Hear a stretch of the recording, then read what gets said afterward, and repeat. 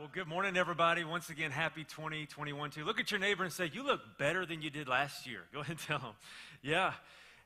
And for my first joke of 2021, I haven't seen y'all all year long. All right? Yeah, there you go. It just gets better and better. Welcome to everybody who's watching online. Thank you so much for joining us. If you want to look in the uh, comment section or up above, you can see the message notes. And if you here today would like to get out your message notes, we are going to jump right into a brand new series I am really excited about that is called It's Time to run. We're going to jump into that, and you can, uh, you can look at the QR code in front of you if you want to do the online message notes thing. But I, I tell you, I asked some different folks on social media to let me know what your favorite New Year's meme was. Like, as we were getting into the new year, like, what was your favorite meme? Because I know a lot of people were really excited to see the end of 2020, beginning of 2021, however that found you. And so I was asking, and I think the one that kind of got everybody, like the one that it seemed like most people were thinking was this one right here. I don't know if you saw this one, but it was, you know, the end of 20, uh, 2020 was like, yay, and there was like, wait, is it going to happen some more? I don't know. it was it was amazing, and I don't know about you guys, but as I got closer to midnight on 2020, I was getting so many text messages saying things like, ooh, we made it, you know, and, and okay, all right, yay. And, and I honestly wanted to tell some of them, what do you really think is going to happen? do you think that it's all going to be different? And, and I think maybe people were going, yeah, of course it is, right? And, and honestly, as we got ready to move in, which is uh, to the next year, which is kind of the theme of our, our message today, is I, I, I, don't know if you've ever seen the movie Man on Fire. I don't know. It's uh, Denzel Washington, Dakota Fanning. And, and I was really, I don't know if you've seen this before, but uh, Denzel Washington is, he is a uh, bodyguard, and Dakota Fanning is a little girl that he's protecting from getting kidnapped, all that. And there's this larger narrative, but there's a smaller one. And I was thinking about 2021 like this, and that is that she was a swimmer and he was watching her swim, and she was actually one of the fastest ones in the water, but she always came in last place. And so she was asking him one day, like, why, why am I always the last one? And she, he was like, You're really the fastest.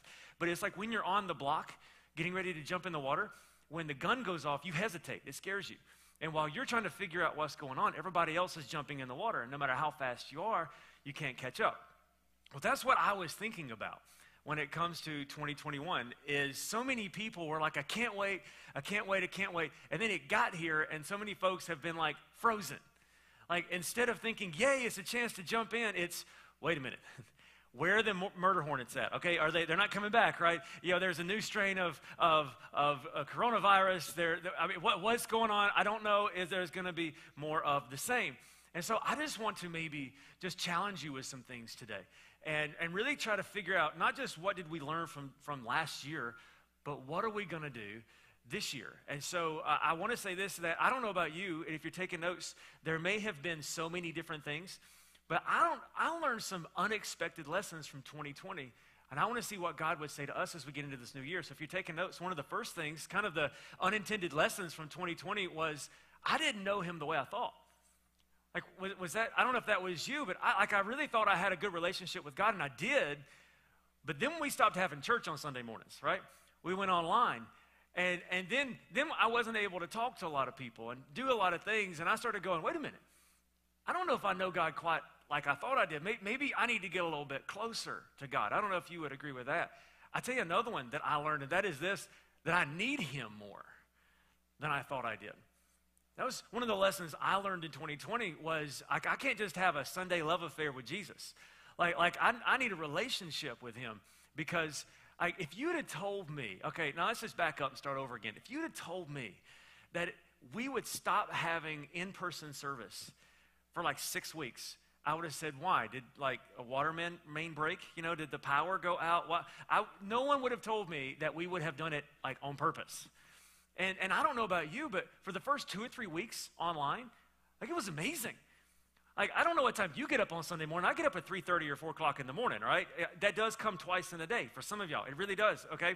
But I, I, would, I would get up early. I'd be here super early. I was sleeping until 9.15 on Sunday morning because we don't stream until 9.30. I got 15 whole minutes to brush my teeth and get to the living room. I mean, it was amazing. But then all of a sudden we're not doing it. And for the first two or three weeks, I was like, man, this is how you do this. This is how the heathens live. All right. that was a joke, okay? All right. But after a while, I was like, man, I need more than this. And then I tell you, maybe the biggest lesson I learned in 2020, which is why we're going to be doing this series, is that the journey closer to God wasn't as simple as I thought it would be. I just thought, well, you know what? I'll just start reading my Bible a little bit more. I pray a little bit more. I'm, I'm going to get close. It was nowhere near that simple. There was a lot of things that got in my way. I don't know about you. There was all kinds of things. I, no, there was, you know, not be able to come to church kind of got in my way. Um, not, you know, everything kind of shutting down kind of got in my way. Fear of what was going to go on kind of got in my way of getting closer to God. Homeschooling got in my way. Like, I love my kids differently than I did in 2020, more in some ways. I know them more than I used to in some ways. Uh, I, I, I, got to where my relationship with my wife would get in my way because I wanted to make sure I was loving her. You know what the biggest thing that got in my way was? Myself. I, I got in my own way getting closer to God. And so, as I, I don't know about you, but as I was looking at, you know, time getting ready to switch over from December 31st of 2020 to January, I was, I do this every year. I, I think about the year. What did I learn? And I learned a lot of things, but what was I going to take into the new year? And with that, I want to tell you what maybe some of our like our life verse was for 2020. And then I want to see what God would maybe say to us. Here, here was maybe your life verse. Habakkuk 2 said this, Oh Lord, how long shall I cry for help and you will not hear? Praise the Lord, right? How about this? Or cry out to you violence, election stuff, pandemics, stimulus checks, all this stuff, and you will not save. Come on now, God. Why do you make why do you make me see iniquity and why don't why do you look idly at wrong destruction and violence are before me strife and contention arise does that not sound like 2020 to you i mean if you were ever to write it down because that's kind of what was happening in habakkuk's life at the time he was sitting there looking and going, man, everything's going wrong. And it's actually going worse than it should. So, God, I'd, I'd love for you to do something. And look what God said. The Bible said, the Lord answered and said, Look among the nations and see, wonder and be astounded. For I am doing a work in your days that you would not believe if I even told you about it. So I think what God was saying to him is listen, I'm doing so much more than you realize. So the goal is not to just sit and complain and think about what was, but instead think of, try to figure out what I'm doing and get in on it. And so he, then he went on to say this, and this is the series text uh, that we're going to be looking at. Is he said this? He said, "The Lord answered again and said, Write the vision and make it plain on tablets, so he may run who reads it. For the vision awaits its appointed time. If he seems slow, if it seems slow, wait for it, for it will surely come, and it will not delay." And so, what I was looking at, and I was reading this verse, I started to realize that I don't want to make any New Year's resolutions this year, okay? Because you know why? They don't work. All right, I don't know. You can, if you've ever had a New Year's resolution, don't tell any of us because we won't believe you. Okay, they they don't seem to work. I don't want to just make any more do better cases. Instead, what I want to do is what God says to do, and that is first of all identify the vision, then make it plain, simplify it, and then, for heaven's sake, let's do it. And so, what I want to challenge all of us as a church to do is I've been praying for us as we were moving into this new year, is I want to challenge you to do something. Instead of having the, the 20 different things we're going to do this year, I'm going to lose, you know, the, the, the COVID 19, you know, or the COVID 99, and, and, and instead of doing these other things, and I'm going to read 100 books this year, or I'm, I'm going to be nice to people this year, instead of doing any of that, what if we just said, I'm going to do something very different? Because I think we, we overestimate what we can do in one year, but we underestimate what we can do through a lifetime of faithfulness. And so, if you haven't already set up what you're going to do this year, if you haven't already done it, then go ahead and put all that other stuff off to at least June, okay? And I want us to do something. So, he said this He said, You got to identify the vision, and then you need to simplify it. So, instead of 10 things, what if we did one thing and then run with it? And so this is what this is the big idea, and we're going to build on this each week in the series. But what if this year we made a decision that as a church, I'm going to run toward God. This year, I'm going to make a plan that I'm going to get as close to God as I possibly can. Because here's the thing there's more. There's more to God than you have already encountered, than I've already encountered. But we've got to be so careful that we don't hear that so much that it just goes right over top of our head. Like if you hear that, you may be like, yay, that's great. Now what? what's, what's next? Sure, I know, about, I know about God. I know about the love of God. I got saved once. Can we do something else? Well, here's the thing. What if I told you that there is more to God than you've ever experienced? That there's, there's further places that you can. The Bible says that up in heaven, there's four living creatures all around the throne of God, and that they, they continually turn, and every time they do, they say, Holy, holy, holy. The, the, the oldest Greek translations say they said it eight different times. They would say, holy, holy. It's like every time they turned, they saw a different part of God and were surprised at how amazing he was. And then finally they got so excited and they would say, Is the Lord God Almighty who was, who is, and is to come. And according to the Bible, they've been doing that for like a really long time. And still, every time they turn, they see it's like a kaleidoscope. Every time they turn, they see a new aspect of God they never saw before, and they're continually amazed at how big God is. So, how do we think that we could have been on this earth for 30 and none of your business years and think that we have seen all that there is of God? There's so much more. And that's what Paul was trying to tell the early church in, in Ephesus. Now, Ephesus was kind of the who's who church of the early church in the first century. Some of the most prominent people of the early church lived in Ephesus. Paul lived there for a time, Timothy lived there, John the guy who said he was Jesus' best friend, according to him, and he wrote the book of Revelation, all that for a while. John lived in Ephesus. Uh, John moved Mary, the mother of Jesus, to Ephesus for a season. So if you wanted to know anything about Jesus, go to Ephesus. Those guys can tell you, right? And John is saying, I mean, Paul is saying, listen, you've experienced a lot, but there's so much more. And I want to tell us as a church, and if you're watching online, you're part of our church community today. I want to tell you, You've experienced a lot of there is of God. But can I tell you, there's so much more. And as your pastor, I want to lead us in a season of just seeing how much of God can we experience in 2021. So the, the name of our series is, is It's Time to Run. We're going to identify the vision that God has for us. Then we're going to simplify it. We're going to simplify it to just two words. I'm going to run toward God.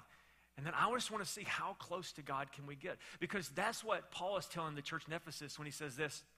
He says, I pray that from God's glorious, unlimited resources, He will empower you with inner strength through His Spirit. And then Christ will make His home in your hearts as you trust in Him. Your roots will grow down into God's love and keep you strong. Now, listen to what He says. And He says, And then may you have the power to understand, as all God's people should. In other words, He's not saying that they do, but they should, how wide, how long, how high, and how deep his love is. And may you experience the love of Christ, though it is not too great, though it is too great to fully understand.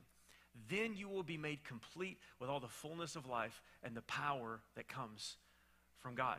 And so what he's saying is, is he's saying there's so much more. But here's the challenge, and this is what I want to share with you that is my challenge so many times as well, and that is that if we're not careful, we experience one kind of love of God and then that's it. We never go any further. We, this is the kind of love of God that we experience. And if you don't know this verse, you should really learn it. It's pretty cool. John 3:16. This is how God loved the world.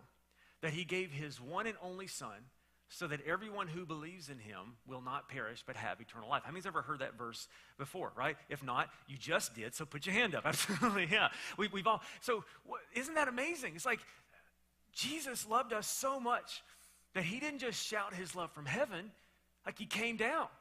He lived among us and he, he was here. He experienced all the things and then he died on a cross, fulfilling the righteous judgment of the law to set us free from sin. He rose again and then he said, All you got to do is receive it. You can't earn it. All you can do is receive it. Isn't that amazing? But here's the thing for, for many of us, that's the only part of God's love we've ever experienced. But there's so much more. And, I, and I've got an illustration for you that is not going to make sense, maybe, but if you'll hand it to me real quick. This is the best I got, okay? This is my million dollar illustration. I don't know if you've ever seen one of these before. I hate these so bad because they're so hard to fold. But I was thinking about this, and many of us, we experience God in, in one kind of way, okay? Imagine this is flat, okay? Because it won't stay flat. But imagine it's flat. So we experience the love of God. Like that, that's amazing and that's awesome and that's great. But can we just be really honest for a moment? how, how much does that help us after we get saved in our daily life? Like, continually celebrate his love, absolutely. But then when we go home and we ask our spouse what's wrong, and he or she says, Nothing, I'm fine. You know what that means? That means just walk right back out the door, buddy, because you're in trouble and you don't yet deserve to know what's wrong. That's what I'm fine means, all right? Or you go to work and everybody's whispering that they're going to close down a department and it might be yours. How does that help you? I mean, that, that, that says that you get to go to heaven one day, and that says that you can receive and you can celebrate that, but, but now what? And, and so sometimes we, we, we say things like, well, I just, I don't know what else I can experience in God's love, or, or I'm just not experiencing. I hear this all the time as a pastor. Well, I just, I just don't have the feels like I used to have. And my relationship with God has kind of gotten cold and stagnant. It's because you received the love of God, but that's all you received. And so your, your relationship with God is very one dimensional. But he didn't stop there. The next verse, he said that God didn't go through all the trouble sending his son merely to point an accusing finger, telling the world how bad it was. He came to help. Help with what? Help with whatever you need. And what Paul was saying is he said, listen, you've experienced God in one way, and that's amazing, and we should celebrate that forever. But there's so much more. God is not a one dimensional love. It doesn't say that he does love, it says that he is love. So God isn't one dimensional, but actually, as you start to dig in, he's actually four dimensional. And that there's so much more to God that you don't see. And so when you look at him from one angle, you go, well, that's great. I love God. That's awesome. And, and I get to say, you say, what? But there's more. And when you look at him at a different angle, he gets bigger. At a different angle, he gets even bigger. At a different angle, he gets even bigger.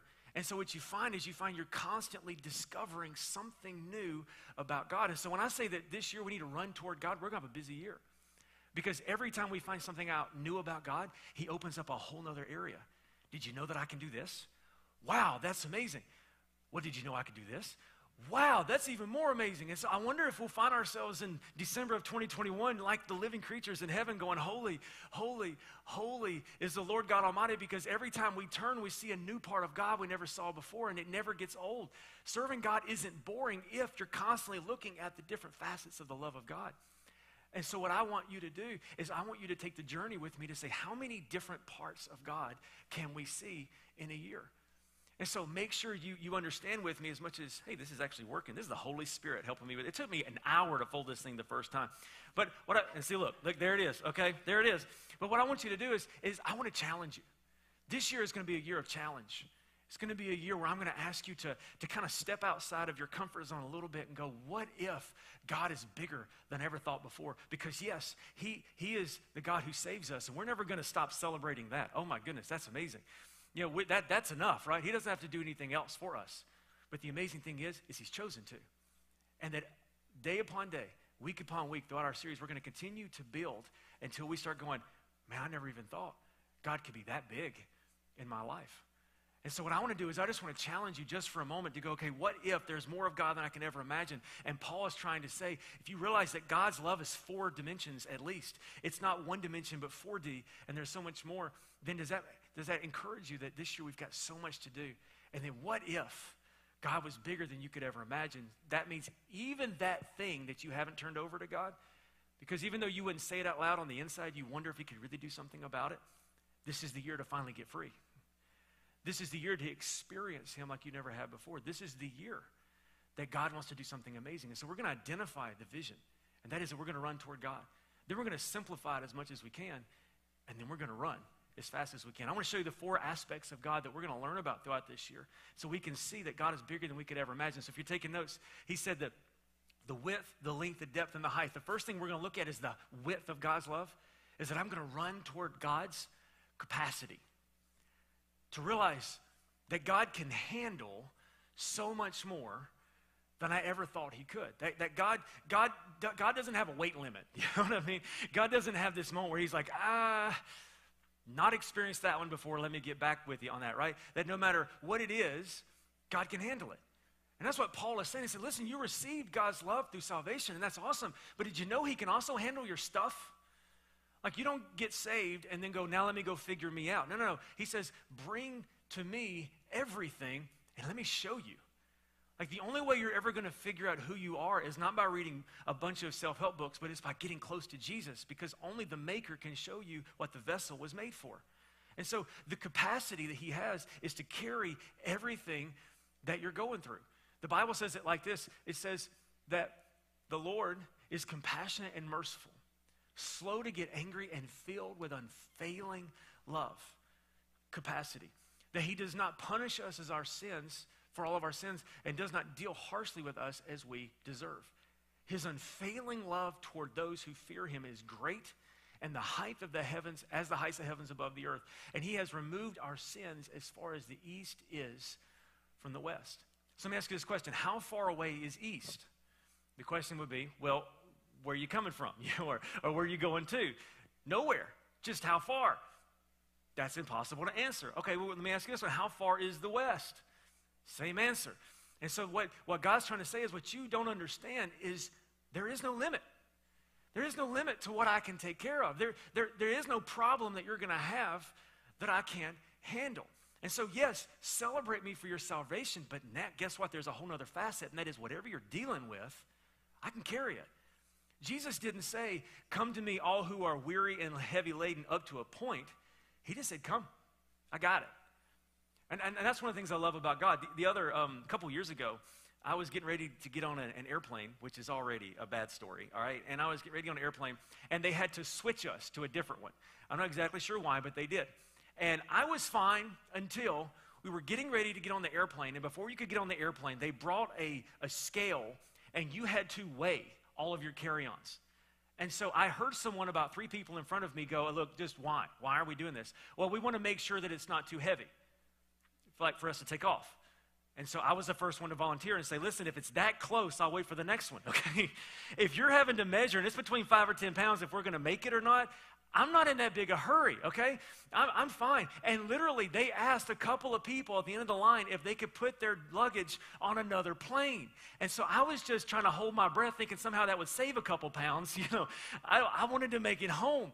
And I don't know how many of us think, well, I can't trust God with everything because I don't know if He can handle the last couple pounds of what I'm going through. Like, I'll, I'll trust God with my family, but I won't trust Him with myself because I don't know if He can handle it. Because I got a couple of secret fears I haven't told anybody about. I, I'll trust God with my big issues, but not my little ones. Or I'll trust God with my little ones, but not my big ones. Well, here's the question What, what did you keep from God this past year because you weren't quite sure that He was going to do something about it? What if this year you realized that, yes, He is the God of our salvation, but He's also the God of every single weight that holds you down. And He doesn't have a weight limit. But the, the capacity of God is what we're going to discover this year, and that He is so much more able than we could ever give Him credit for. And so we're going to lean on Him like never before.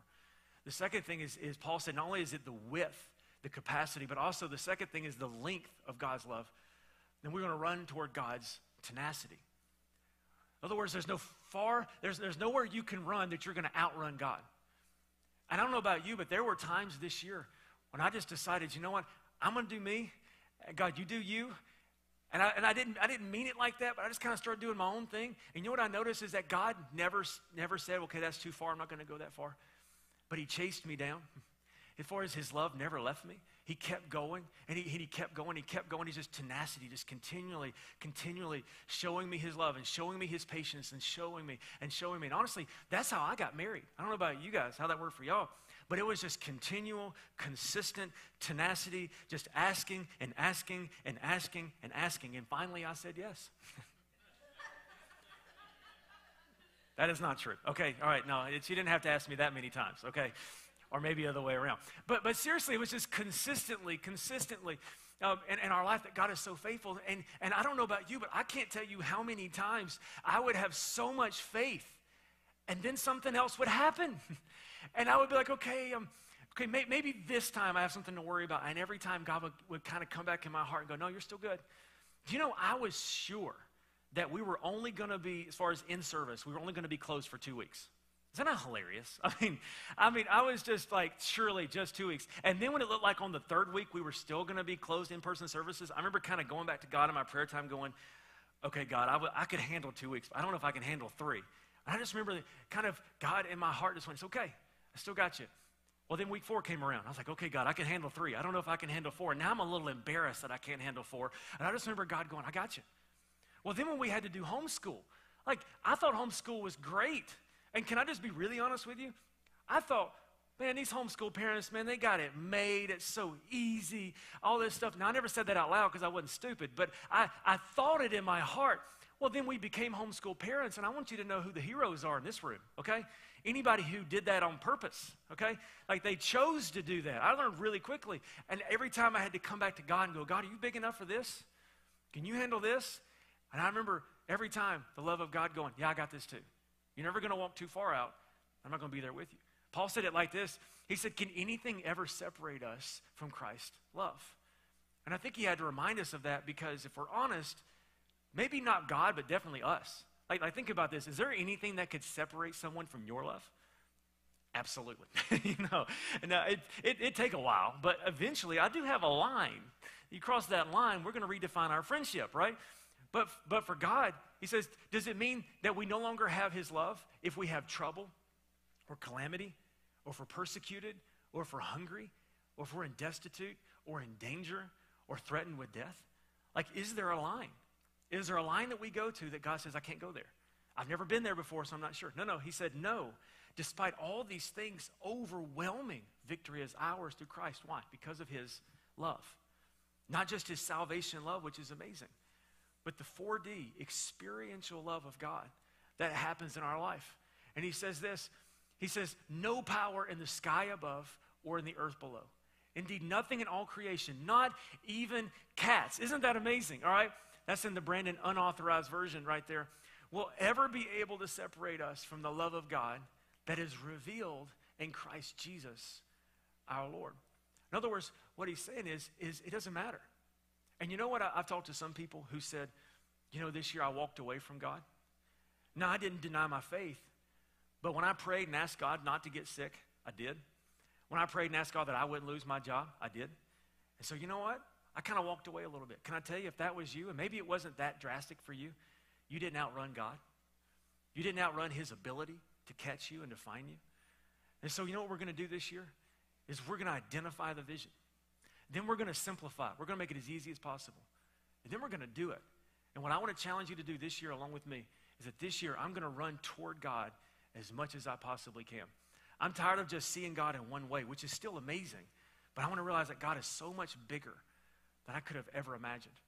I want to run toward His capacity, big enough to handle whatever I go through, big enough that I want to run toward his tenacity, that he never gives up on me. And here's, here's a big one, and this is the one I, I had to deal with a lot, is that I'm going to run toward the depth of God's love, which is to run toward his stability. Run toward his stability in my life.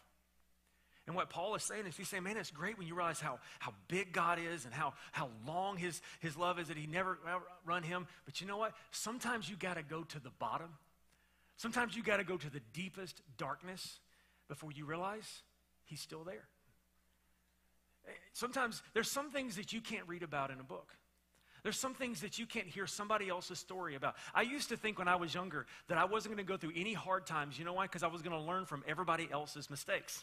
And I thought that this is how I'm going to save myself from trouble. And you know, it does work some, but there are some things you just can't experience. You can't, you can't understand until you experience it. Like getting a brain freeze. I don't care how many times you tell someone it's a headache. No, no, until you experience your brain falling out of your head and hitting the ground, you don't know what it's like. Well, it's the same thing. Sometimes you have to experience the bottom to go, wait, God's still there.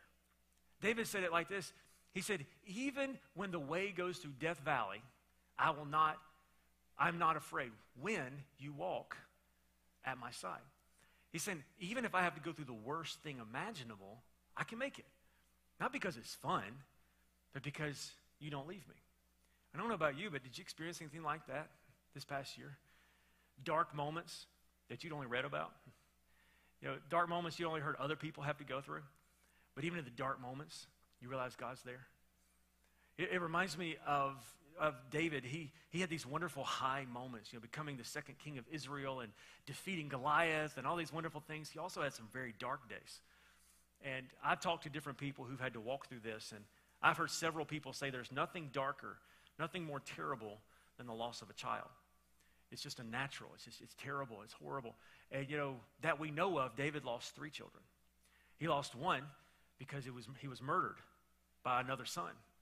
He lost another because Absalom tried to raise up against him. And, and, and he actually mutinied and did take over the kingdom for a little while, so he had to be hunted down and killed, and that's not fun. But then the one that I wonder if maybe got him the most is the Bible said that his, his wife had a, had a child, and as soon as he was born, he started to struggle. And historians have went back and forth for, for years and years. We don't know exactly what was wrong with him. We just know as soon as he was born, he was at the point of death.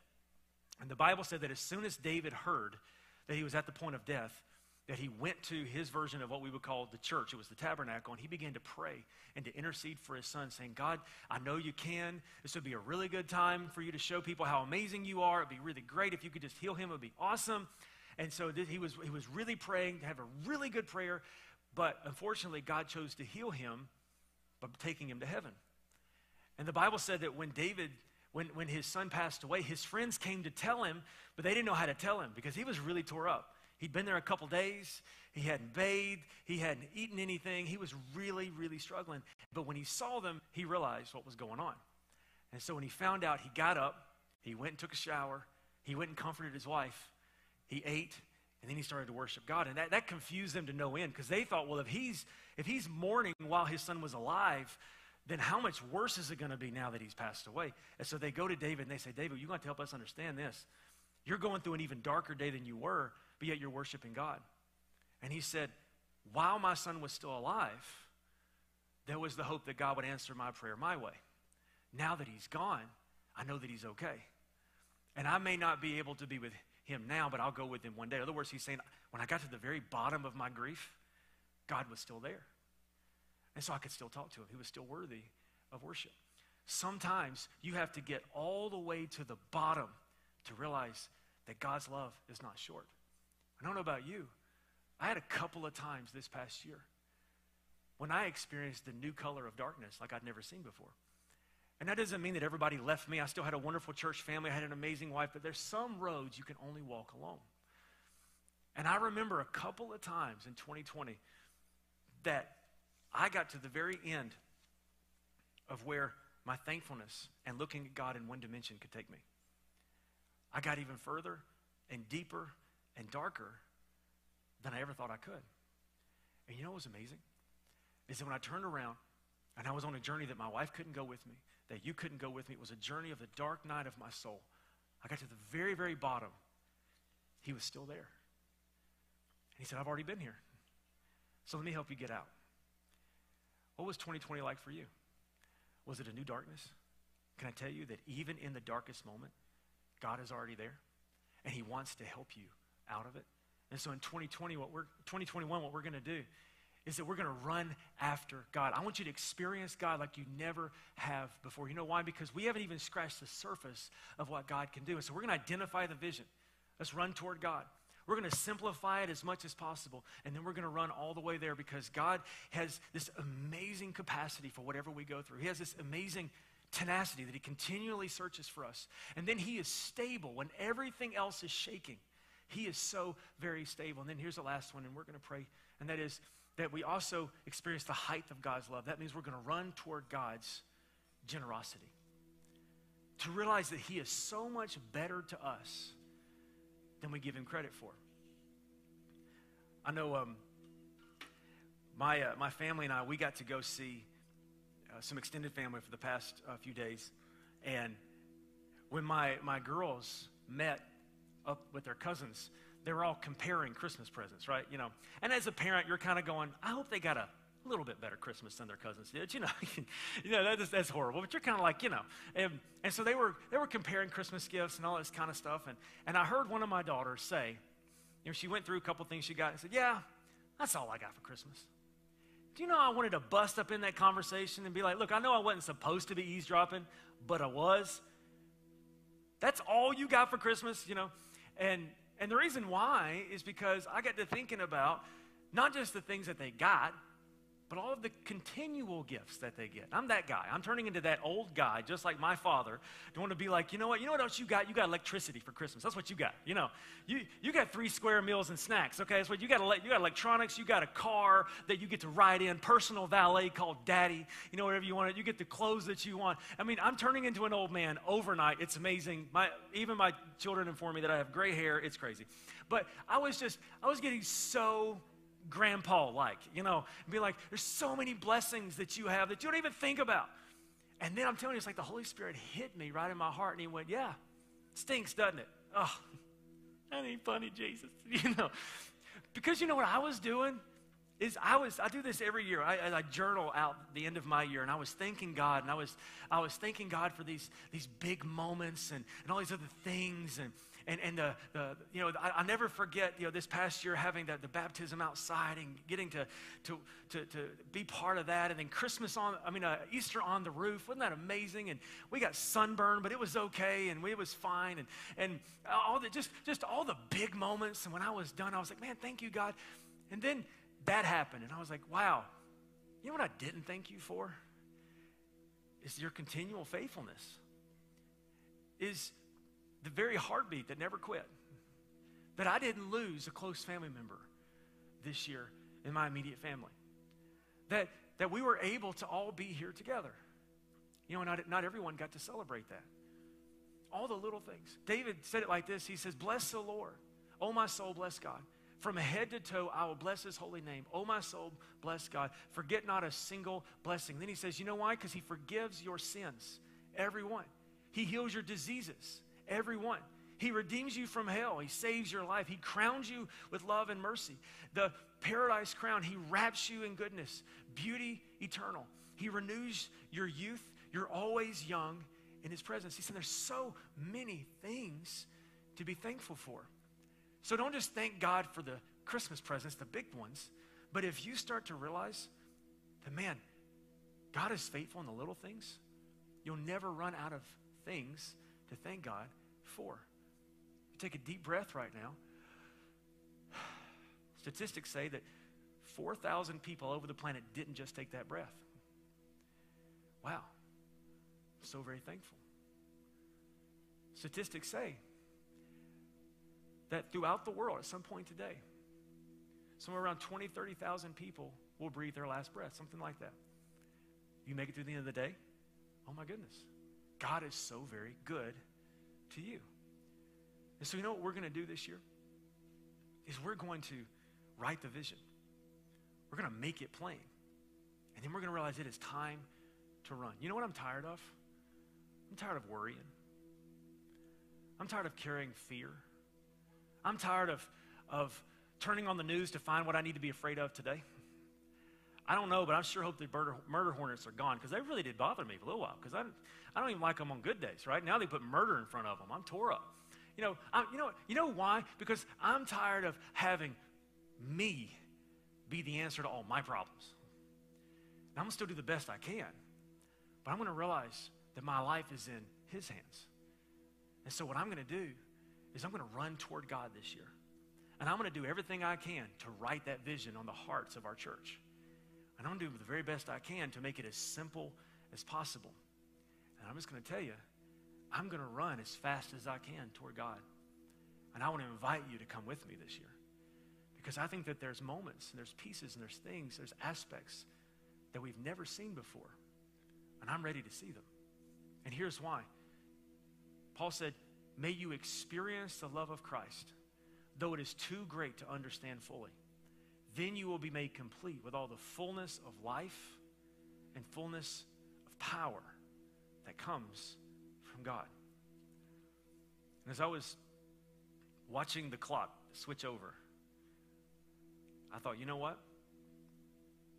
That's my, that's my plan for this year. Is I want to run toward God so that I can experience the fullness of life like I've never experienced before. You know what the fullness of life is? It's not a straight line. That's not life. That's prison. In prison, nothing ever changes. It's all the same. You go to bed, you get up, you have dinner, you have everything at the same time. You know what fullness of life is? Is the highs and the lows. The highs and the lows, the roller coaster of life. But the difference is, is that you don't do it alone, that God is with you. And the power of life, which means no matter what we encounter, we can handle it because we have the power of God to do it. And how do we do it? By experiencing the love of Christ. What part of God's love do you need to focus on in 2020, 2021? Do you need to focus on the capacity of God? Have you got, have you got some pretty big needs that you walked into this year with?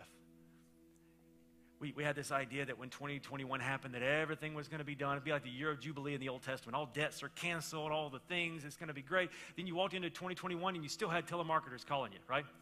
School is still starting in a couple of days. Is that what you need to focus on? God, this year, I'm going to come to you and I'm going to see how much you can handle. I'm going to test that weight limit. I tell you, He's up to the challenge. Or do you need to experience the tenacity of God? God, I've walked so far away from you. Would you receive someone like me? Can I tell you that God's not mad at you? He's not changed his mind about you. Rather, the opposite. Maybe the whole reason why you're here today is for him to say, Welcome. Maybe it's you need to experience the stability of God. Because walking into this year, you've got some serious decision, decisions to make. Maybe there's some serious fears that the enemy wants to put around you. Can I tell you? He's big enough to walk with you through the darkest valley. And, and even if you go there, you will not go alone. Or maybe it's time to start celebrating what he has done in your life. You know, the person who has everything is not the person who has the most toys, it's the person who finds stability and contentment in what they do have. And to realize, God, you've already blessed me. Whatever it is, let's run toward God this year and see what we can see. Let's pray together this morning. God, thank you so much for today. Thank you for your presence and your mercy. Lord, I'm so thankful that in moments like this, I realize that you are with us and you are for us. And Lord, I don't know exactly what you may be saying in the hearts and the minds of everyone here, but what I do know is that your love is not just one dimensional, but it is in every area.